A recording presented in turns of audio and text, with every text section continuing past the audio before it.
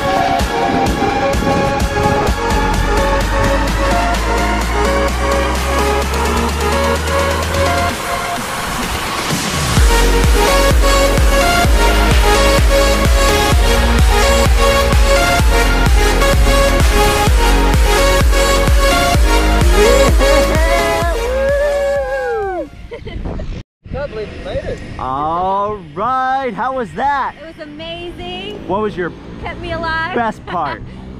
actually falling off. Yeah, that first step? It was crazy. Pretty crazy, huh? it was intense. Well, you've got that big old smile on your face. Are you gonna come do this again? Definitely. Yeah? Awesome job. Thank Thanks for coming to the Skydiving Yes. Company right here in Madisonville. Welcome you. to the sky.